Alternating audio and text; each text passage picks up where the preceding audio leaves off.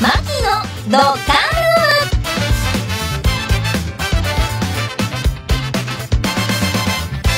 鹿児島ユナイテッド FC サポーター部マッキーのロッカールームです。鹿児島ユナイテッド FC スタジアム DJ のマッキーです。今日もユナイテッドを一緒に応援していきましょうユナイテッドサポーター部の皆さん応援部活動応援メッセージお待ちしています。さあ、鹿児島ユナイテッド FC 前節はテゲバジャーロ宮崎との南九州ダービー1対2で敗戦となりました。まあね、あの、エースの一角である米沢レイ選手の早いタイミングでのアクシデント、あとセンターバック広瀬選手の累積による出場停止などがね、いろいろ重なったってことも大きかったかなという印象があります。ただ、あと残り5試合です。下を向いてる時間全くありません。今週ね、あの、報道向けに水曜日トレーニング公開があったんですが、あの、次節アウェー福島戦に向けて、オフ明けから、もう初日だったんですけれども、しっかりもうチームを作っているなという印象がありました。一つは、一人サイドバックの星光太選手が戻ってきたこと。これはね、ここから昇格に向けて勝ち続ける大きな大きな要素かなと思いました。ということで、今日はその星光太選手のインタビューです。どうぞ。ユナイテッドサポーター部、マッキーのロッカールーム。今日はこちらの選手の登場です。自己紹介をお願いします。えー、鹿児島ユナイテッド FC17 番、星子太です。よよろしくお願いしろしくお願まいします。す。意外とスポーツプラス初なんですよね。はい、そうですね。はいですよ。ね。さあ、まずは、あのー先日、第一子、誕生おめでとうございます。ありがとうございます。どうですか？パパになったお気持ちは。そうですね。まあ、嬉しいです。あまり、まだ実感はないですけど、少しずつパパらしくなっていければいいかなと思ってます。まだ会えてないんですね。そうなんですね。ちょっと会えてなくて、はいもうすぐなんですけど、会えればまたより実感湧いてくるかなって思うんで、うん会いたいですね。会いたいですよね。なんか変わりそうですか、はい生活というか、気持ちというか。いやー変わるんじゃないですかね。生活もですし、気持ち的な部分もですし、本当変わっていくと思うんで、そこも含めて楽しみにしてます。えどんなパパになりたいですか？どんなパパ？なん なんだろうな。まあ、優しいパパでいたいです。でも優しそう。すごい優しそうですよね。なんかますますこう頑張る理由が増えたんじゃないですか？そうですね。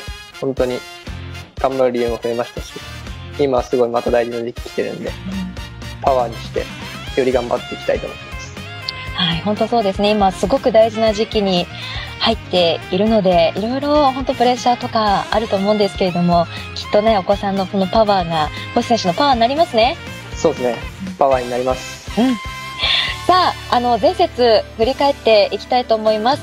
えー明治安田生命 J3 リーグ第29節テゲバジャーロ宮崎戦ですが、えーこれ1対2敗戦となりました。あの、試合振り返っていかがですか？そうですね。まあ、ちょっと相手に主導権握られる時間が多くて、厳しい試合になってしまったと思うんですけど、まあ先制点は取れたんで、まあそこからの試合の進め方とか、そういうところをうまくやれれば、試合も勝ちに持っていけたと思うんで、まあそこは反省して、まあ次、絶対負けられないんで、勝てるように、また一週間、いい準備したいと思ってます。どの部分を修正していった方がいいなって思いますか？そうですね。まあ、うん、個人的になことになっちゃうかもしれないですけど、まあはい、。ちょっと最近主導権をちょっと握れてない試合が多くなってきちゃってるんで、まあそういった部分で、自分が入った時に、その前の選手に時間とかスペースを与えられるようなプレーをして、よりチームがいい方向に行けるように手助けできればっていうふうには思ってます。あの、前節、まあ途中出場だったんですが、星選手が帰ってきた、この喜びっていうのは本当サポーターさんもすごくあの聞こえてくる声だったんですけれども、えっと、北九州戦でアクシデントだったでしたよね。そうです。はい。で、鳥取戦、長野戦、YS 戦と、あの、試合出場が叶わなかったんですが、このなんか、はい出られなかった時期で、こういろいろ考えられたこととか、試合を見ててどうだと思いましたか、劇的に勝った試合とか、まあ、長野戦4点取った試合とか、まああったんですけど、まあ試合内容としてはちょっと相手に主導権握られる試合っていうのはちょっと多かった部分もあったんで、まあ自分たちがやりたいサッカーっていうのはもっと主導権握って自分たちからアクションを起こしてってことなんで、まあ残り5試合ですけど、そういうところを原点に立ち戻って、自分たちが主導権握って圧倒できるサッカーっていうのを自分が入ってまたできれば、より昇格に近づくと思うんで、まあそこはより意識しながらやっていきたいとは思ってます。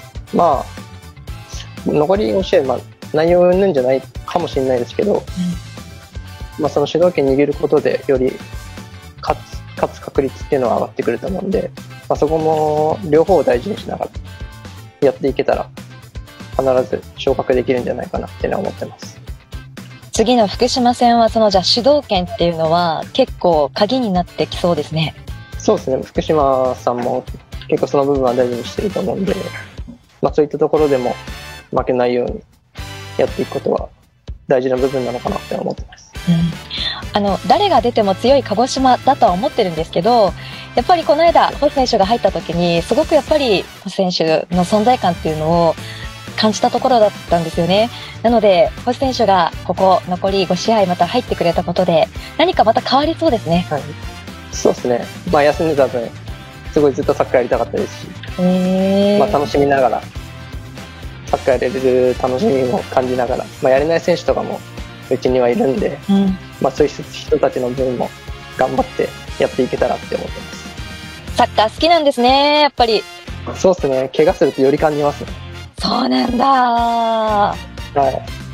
サッカーやりたいなって。うずうずしてました？そうですね。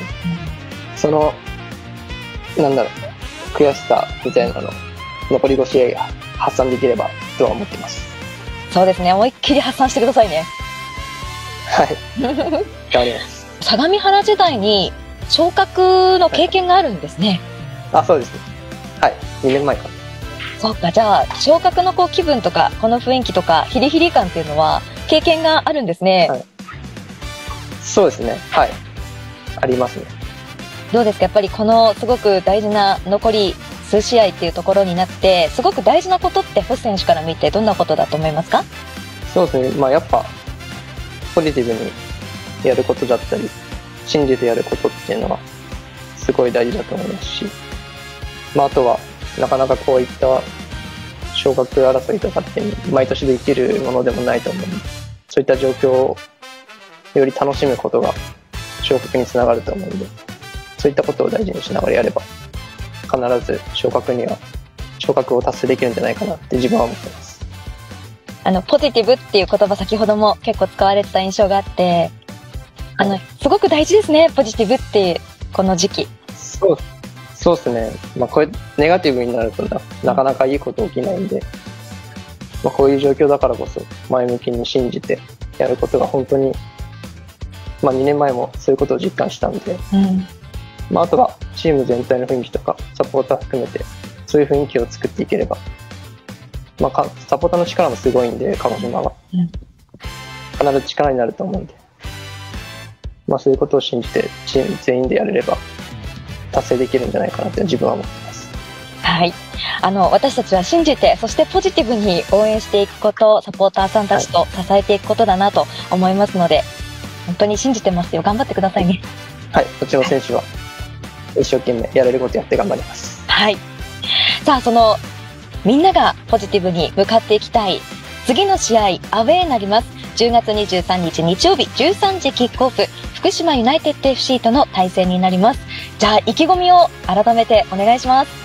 そうですね、前回の試合ちょっと負けてしまって、不甲斐ない結果になってしまったんで、まあ、残り5試合の勢いをづけるためにも、次の試合はすごい大事になってくると思うんで、チーム全員で1週間以上にして、勝てるようにやっていきたいと思ってます。さあ、では、これも初になるんですが、ユナイテッドリクエストユナリクです。星選手はどんなの聞くんですかね、普段。曲。あんまり曲詳しくないんですよね。いや、ミスチルがいいかなと思って。ああ、ぽいぽい、でもぽいな。ミスチルっぽいな。桜井さんっぽい。桜井さんっぽいですか？初めて言われた。ミスチル行きますか？ミスチル行きましょう。何がいいでしょう小生さんいるんだ。なんかミスチル世代じゃないって言われちゃいまあ、嘘そうか、小生さんはミスチル世代じゃないんだ。DJ コータの時間です。DJ タイムです。DJ コータの進 じゃあ曲紹介をめ方が。はい。かっこよくお願いします。曲紹介どうぞ。歌手名とうん、うん。曲名。はい、はい了解です。えー、ミスターチルドレンの終わりなき旅。